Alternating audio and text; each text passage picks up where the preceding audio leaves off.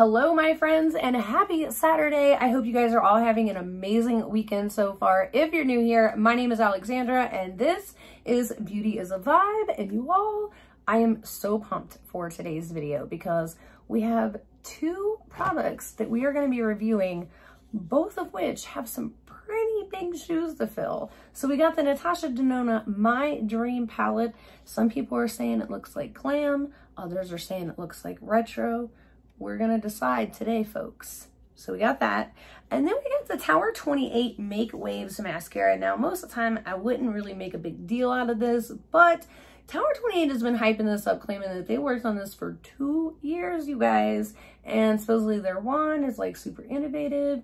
And the formula, the formula, let's talk about that. Supposedly, it does not hurt or affect people who have sensitive eyes, which I suffer from sensitive eyes. Most mascaras, I cannot wear more than two or three hours. That is one of the reasons why I have fallen head over heels with the Kiss Falscara lashes, why I used to go get my lashes done because I don't like wearing mascaras for long periods of time and those don't bother my eyes. So I'm very interested to see if this ends up being, you know, a hit or an absolute miss. I have high hopes for it. I mean, they really hyped it up. So uh, let's get into it. By the way, before you guys ask, this is what my shirt says. Cute. I know, I know. I know. I'm already getting there. You guys know, man. September 1st, it's game on for me. All right. So we got the Natasha Denona My Dream palette. Now, I'm going to be honest with you guys. When I first saw the supposed leaked, we're going to talk about those here in just a minute.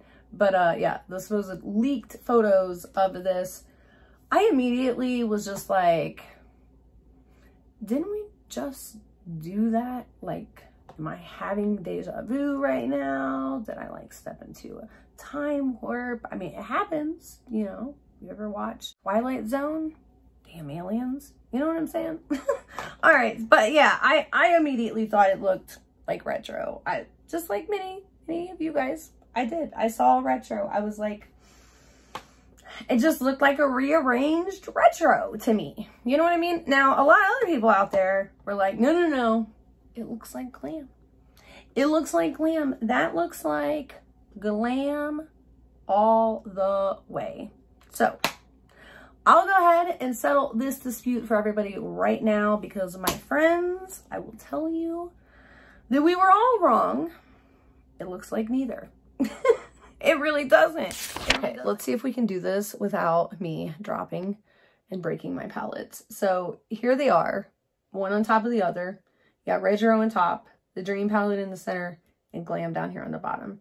And as you can see, stacked right on top of one another. I mean, you know, you got a few that look like maybe okay, but then even when you swatch them, they don't, they're not even like close you know? Like that's like a soft powdery pink that has way more peach and orange in it.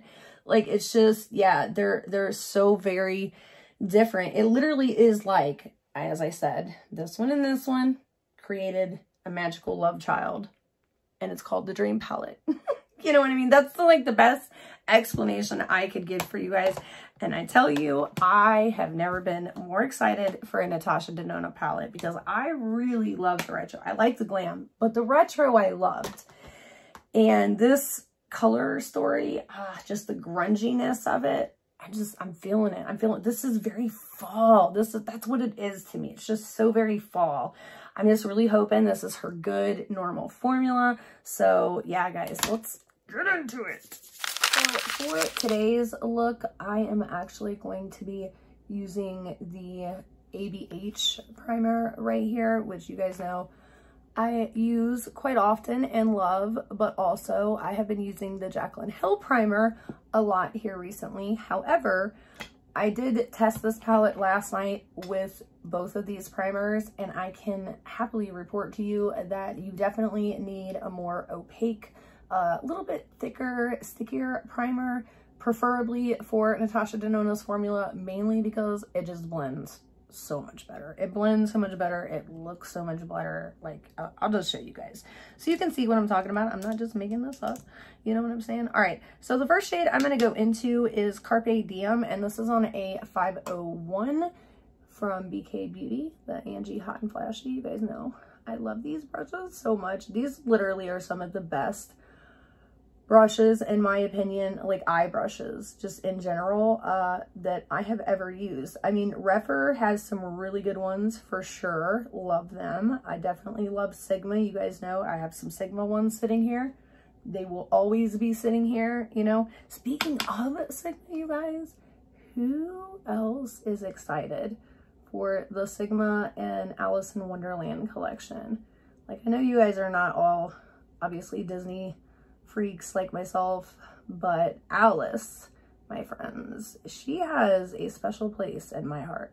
I actually have an Alice tattoo on the back of my neck of my own design, might I add. I'll uh, pop a picture up here for you. It's literally right here. And it says, we're all mad here. I love it. It's like one of my favorite tattoos.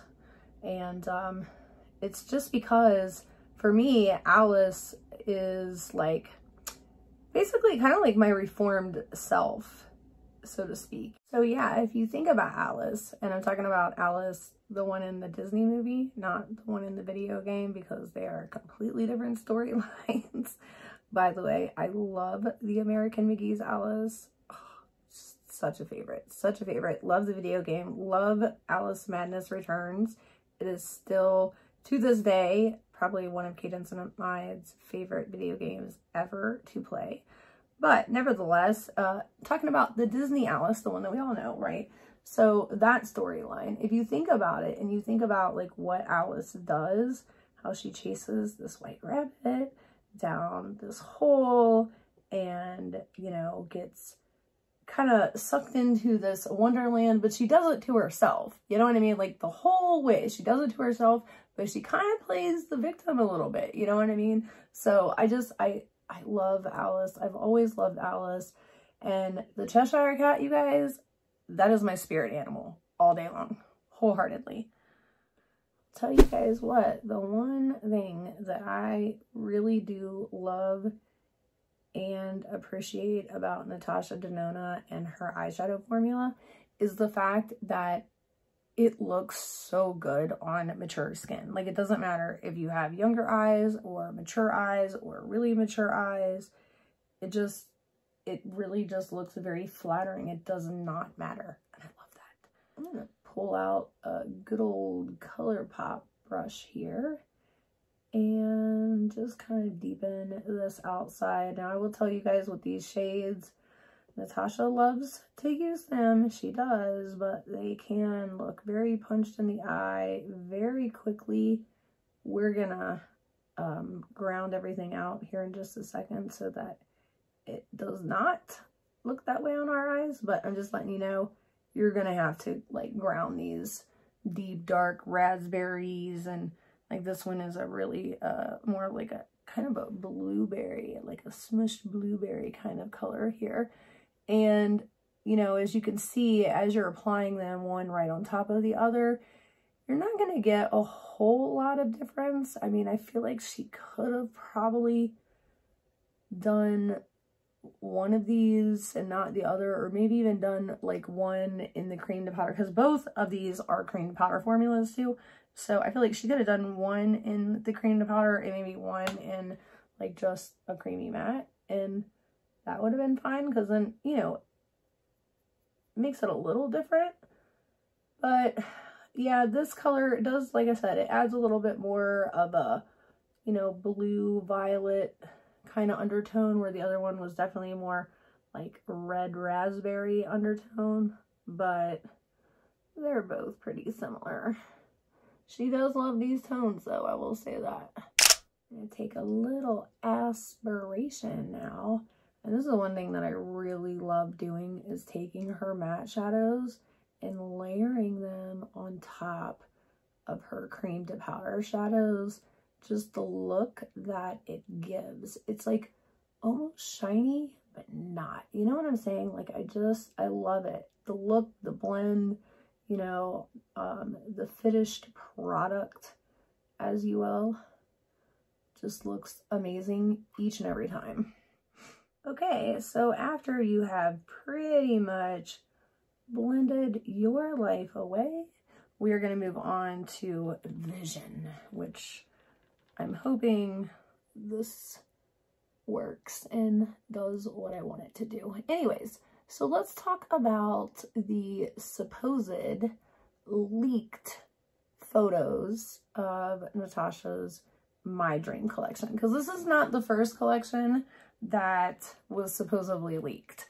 As a matter of fact, it happens pretty much every launch, it seems. Every like big palette launch, even with some of like the smaller palettes. Have you guys noticed that? Like, like at first I was like, man, that sucks for her. But after a while, it just kind of seems like, is it really being leaked? You know what I mean? So I kind of like started paying attention to who was doing the quote unquote leaking. And it seems to me, just based off of what I'm seeing, this is a complete conspiracy here, y'all. But it seems to me that there's a little bit of uh like mean girls kind of going on, you know, like some people are posting these quote unquote leaked photos and not getting in any trouble and uh, the brands not striking their Instagram account and others are taking that same post and reposting it and they're getting striked and getting in trouble for posting leaked photos. So I, I kind of, you know, I kind of find that interesting and I kind of have mixed feelings. I don't know 100% that that's what's going on, but I do know 100% that that is what has happened multiple times now. Um, I've witnessed it. I got screenshots of it. So uh, I don't know if like the whole leaked, you know, ness is necessarily it actually being leaked or you know, like if it's like a marketing kind of strategy or something, because it just seems to be happening a lot. And it seems to be that only a few people are really, uh, that the brand is really going after for quote unquote leaking it. And it's just not ever the person who first initially leaked it. Does that make sense to you guys? Does that make sense? So, uh, you know, I don't want to say that, uh, Natasha's doing anything shady because I like Natasha quite a bit and I think her products are amazing. I think she's a true artist. And I think the products that she puts out are, there's like a, a lot of true thought behind them. You know what I mean? Like I think, um, you know, you can tell she is a MUA that works in the field and, and she knows what's going to work on her clients' uh, skin and skin type and tones and the color tones that she chooses these palettes and collections I just think are absolutely amazing. Now, I do know with this collection, there was also like um, a face palette and then a lipstick and a lip liner, and I wanted to get those, but when this launch happened, also, there was the ColourPop launch with the um, Hogwarts collection, and then also the Sigma launch with Alice collection, and I died. I had to get that.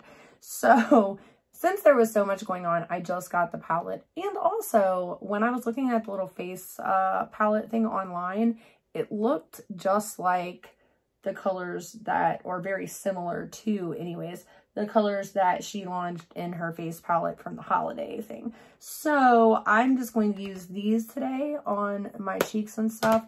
And I'm going to go ahead and take these off, do a little cleanup, put the rest of my makeup on, and then we will be back to try on mascara. So here is our finished and completed look and I'm absolutely loving it. It is very fall.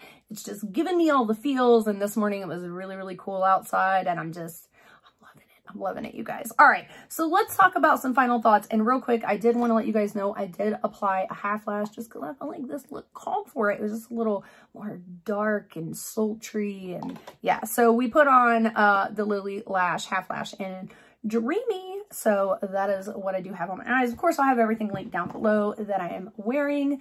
But let's talk about some final thoughts. So um, I really like one of these products and I don't like the other one so much. So let's talk about the one that I don't like. Uh, the Tower 28 Make Waves Mascara. So before I give you my opinions on this mascara, I do want to say one thing, which is the fact that I feel like mascaras are one of those beauty products that everybody kind of has their own preferences too. You know what I mean? Like what I like might not be what you like kind of thing. And I think when it comes to listening to other people's opinions about mascaras, it is very important that you find someone who likes similar mascaras to you already and then maybe listen to their opinions. So with that being said, if you guys are curious, mascaras that I like normally, uh, Rare Beauty Mascara, the Bare Minerals Strength and Length. I don't ever hear anybody talk about this, but it is amazing. Uh, I really do like the Bad Gal Bang, but only like the first two or three months that it's open. You know what I mean? Uh, and then same with the Falsies Lash Lift by Maybelline. Really like this. Again, just those first like two or three months. And then I really like the UD um, lash. So those are all just some recent lashes. I like the Pat McGrath too, but super expensive. And again, it only lasts a couple months. So with all that being said, as I said, I do have very sensitive eyes. I do normally have to, you know, uh, take most mascaras off within the first few hours of wearing them because they just, they bother my eyes. They make my eyes itch and burn. And it's just, it, it, it starts small and then gets worse and worse as the day goes on. So uh, this claims to not do that, but it did do that to me. So I tried this mascara three, four different times now, including today. I'm trying it again today. I will leave a note in the comments, but I have a feeling here in a couple hours, around about the time that it comes for me to make uh, Liam's lunch, I'm going to be ripping my eyeballs off um, with you know, cotton pads and stuff trying to get this crap off my face. Because, uh, yeah, this actually kicked in a lot quicker than some of my other ones that I really like. And normally I just deal with it, but uh, it's because, you know, it makes my lashes look great, but I didn't really like the way this made my lashes look either. So, uh, me personally, I'm not a spidery lash kind of gal. I like my lashes separated and full and fluffy. You know what I mean? And I feel like this definitely gives you the kind of like spidery lash look. So if you like that um, and you don't have super sensitive eyes, you might love this mascara. I've heard a lot of people saying great things about it. It's just not for this sensitive eye kind of gal. You know what I'm saying? All right, the Natasha Denona My Dream Palette. Listen, you guys, this is amazing. I mean, look, I, I feel like we know Natasha's formula at this point. It is good. You know, I feel like this palette a lot of us thought it was just a lot of repeat shades. It is clearly not. I have been loving the looks that I have been coming up with it. I've had this palette and mascara for a few days now, and I have really been enjoying this palette. Mascara, not so much. It's been a pain in my eyes, but the palette has been just, I love it. I love it. And every time I sit down to do my makeup, I grab it.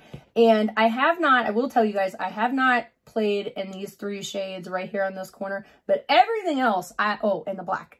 These three shades and the black, but everything else I have my, had my fingers and, and freaking brushes dipped in as deep as you can get them. You know what I'm saying? So, uh, if you like Natasha Denona, I do feel like she raised like these midi palettes because I think they were 65 and they are 69 now.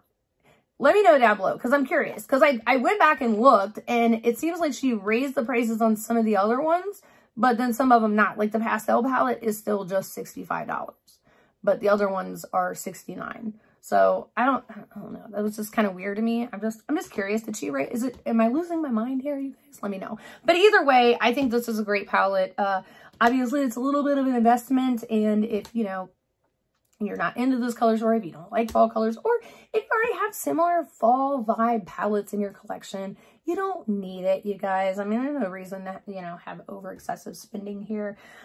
But if you love Natasha as much as I do and you can't help yourself, uh, you will not be disappointed because this is a very good palette. Just saying. All right. Anyways, that's all I have for you guys today. I will see you tomorrow and we're going to break down the Jeffree Star wedding collection because that video took me a little longer than expected because number one, I had to redo it a couple times, but secondly, because there was some things that transpired after I filmed it the first two times. All right. Anyways, I'll see you tomorrow. Bye.